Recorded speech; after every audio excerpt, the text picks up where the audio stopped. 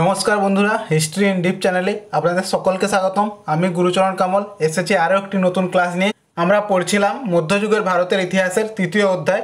এর আগের ক্লাসে আমরা পড়েছি গজনী সুলতান মামুদের সম্পর্কে এবং মামুদের দরবারি বিদ্বানদের সম্পর্কে। আজকে আমরা জানব মামুদের রাজ জ্যোতিষী অল বিরুনি সম্পর্কে এবং তার লেখা কিতাবুল হিন্দ সম্পর্কে এবং মোহাম্মদ ঘড়ি সম্পর্কে। আমরা অলবিরুনি সম্পর্কে আগেই জেনেছি, প্রাচীন ভারতের ইতিহাসের উপাদানে মুসলিম পর্যটকদের বিবরণের সময় কিন্তু আজ আমরা আরও বিস্তারিতভাবে জেনে নেব। চলুন শুরু করা যাক। অলবিরুনির উপনাম ছিল আবু রেহান। এনার উপাধি ছিল বিদ্যাসাগর, যেটি এনাকে ভারতীয় ব্রাহ্মণরা দিয়েছিল। আর ইনি ছিলেন প্রথম মুসলিম ভারতবিদ। এনার জন্ম হয়েছিল খিবা বা খারিজমে এবং এনার মৃত্যু সাতাত্তর বছর বয়সে গজনীতে হয়েছিল।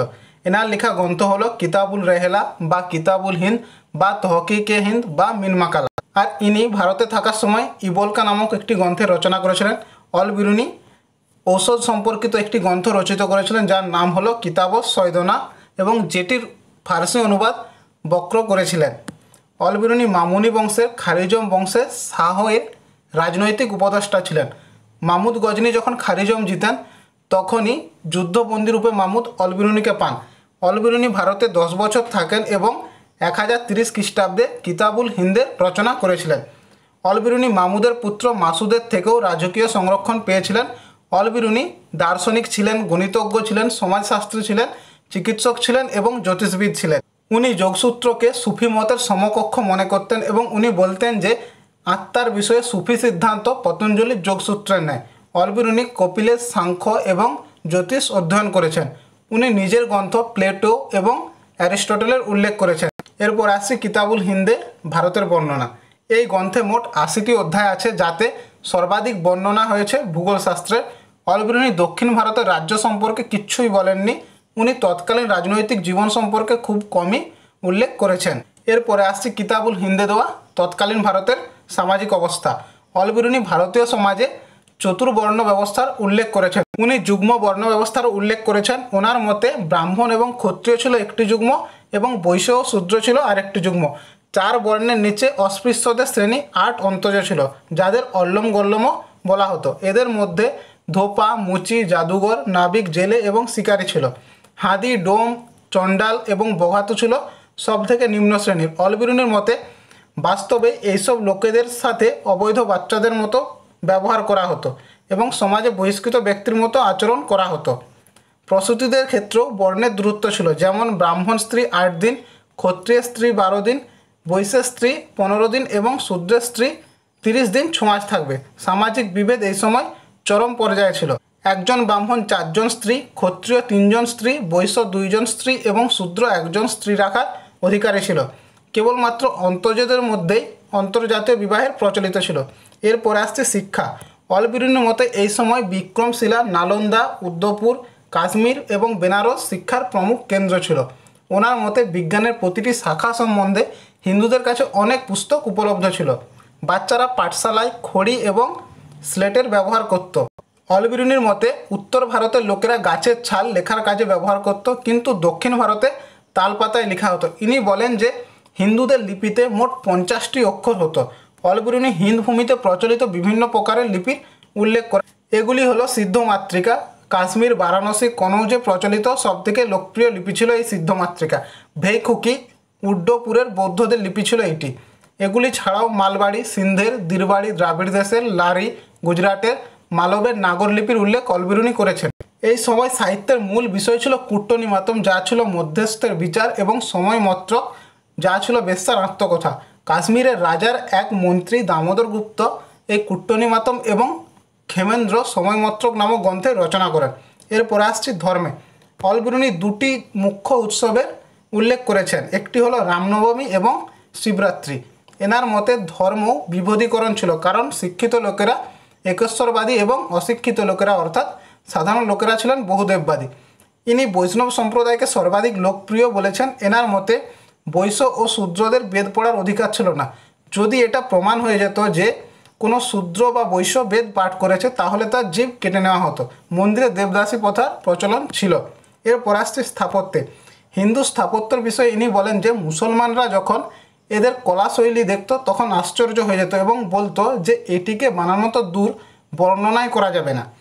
অলবিরুনি ভারতের মুখ্য নগরগুলিকে যুক্ত করা রাস্তার উল্লেখ করেছেন। মামুদের মতে কনৌজ এবং মথুরার মন্দিরের মতো অন্য কোনো স্থাপত্য যদি কেউ নির্মাণ করতে চায়, তাহলে তাকে এক লক্ষ সোনার দিনার খরচ করতে হতো এবং দুশো বছর সময় লাগতো। এরপরে আসছি তৎকালীন অর্থনৈতিক অবস্থা। এই সময় আর্থিক অবস্থা খুব উন্নত ছিল। সম্পত্তি জমা হতো মন্দিরে। এটি এই সময়কার ব্যাংক ছিল। এটাই কারণ ছিল আক্রমণকারীদের প্রথম লক্ষ্য হতো মন্দির। সমাজে সুদখরি ব্যবস্থা নিষিদ্ধ ছিল। কেবল শূদ্রদেরই এটির অনুমতি ছিল। আর এরা দুই শতাংশ সুদ নিয়ে এই কারবার চালাতো। অলবুরিনি লেখেন যে, যদি কেউ নিজের জাতির ব্যবসা বা কর্তব্য ছেড়ে দিতে চায়, সেটা যদি অন্য জাতির কাছে সুখবরও হয়, তাহলে এটাকে পাপ মনে করা হতো। এরপরে আসছি অলবিরুনি বিবরণে দেওয়া তৎকালীন রাজনৈতিক অবস্থা। অলবিরুনি রাজনৈতিক অবস্থা নামমাত্র উল্লেখ করেছে। এই সময় ভারত ছোট ছোট রাজ্যে বিভক্ত ছিল এবং এক রাজ্যের দুর্বলতা অন্য রাজ্যের কাছে শক্তির উৎস ছিল। অলবিরুনি মাহমুদ গজনির সেনাতে কর্নর সৈনিকদের উল্লেখ করেছেন এবং মাসুদের অর্ধেক সেনাতে হিন্দুই ছিল বলেন, যাদের মধ্যে তিলক এবং সেবং দরায় উচ্চ পদে ছিলেন। এরপর আসছি মোহাম্মদ ঘড়ি সম্পর্কে। ইনি তুর্কির সাসাবনী বংশের ছিলেন। মধ্য এশিয়াতে ঘোর প্রদেশ, ভালো ঘোড়া এবং লৌহ ইস্পাতের জন্য বিখ্যাত ছিল। ইসলাম গ্রহণ করার পূর্বে ওখানকার নিবাসীরা মহাযান বৌদ্ধ ধর্মাবলম্বী ছিল। এখান থেকে এক বংশের উদ্ভব হয় যা ইতিহাসে ঘোরি বংশ নামে পরিচিত। ঘোরে ইসলামী সভ্যতার সাংস্কৃতিক এবং রাজনৈতিক প্রভাব মাহমুদ গজনির সময় থেকেই শুরু হয়। ইনি ঘোরদের ইসলাম ধর্মে শিক্ষা দেওয়ার জন্য শিক্ষক নিযুক্ত করেছিলেন। বস্তুত ঘোরি শুরুর দিকে গজনির অধীনে ছিল। অর্থাৎ মোহাম্মদ ঘোরি শুরুর দিকেই গজনির অধীনে ছিলেন। ওনার শক্তি বাড়তে শুরু করে আলাউদ্দিনের সময় থেকে। অর্থাৎ মোহাম্মদ ঘড়ির শক্তি বাড়তে থাকে মাহমুদ গজনির পর এক শাসক আসেন আলাউদ্দিন তার সময় থেকে। আলাউদ্দিন মাহমুদ গজনির কবরকে বাদ দিয়ে গজনী বংশের সমস্ত শাসকদের কবর খুঁড়িয়ে তা বাইরে ফেলে দিয়েছিলেন।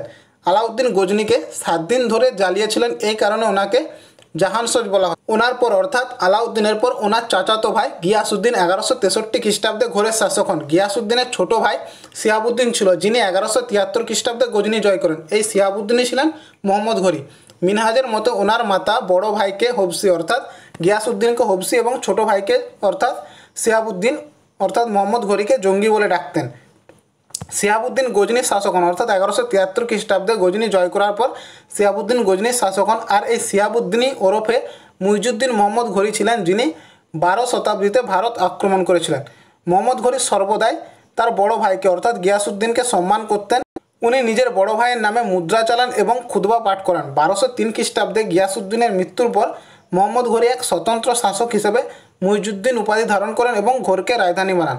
মোহাম্মদ ঘড়ির কিছু অন্য নাম ছিল। এগুলি হলো জঙ্গি, সিহাবুদ্দিন, খুরাসান বিজয়ের পর মুইজুদ্দিন উপাধি ধারণ করেছিলেন এবং মোহাম্মদ বিন মিনহাজের তোবাকত এ নাসিরিতে মোহাম্মদ ঘড়ি হিন্দুস্তান বিজয়ের উল্লেখ আছে। এরপরে আসছি ঘড়ির ভারত আক্রমণের মুখ্য কারণে।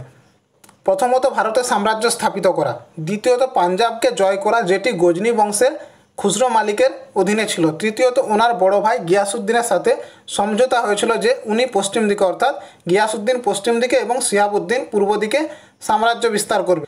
ধর্মপ্রচার এবং ধনের লালসা এইসব কারণগুলির মধ্যে ভারতের সাম্রাজ্য স্থাপন করা ছিল অধিক গুরুত্বপূর্ণ মোহাম্মদ ঘড়ির কাছে। এরপরে আসছি মোহাম্মদ ঘড়ি মুখ্য অভিযানে।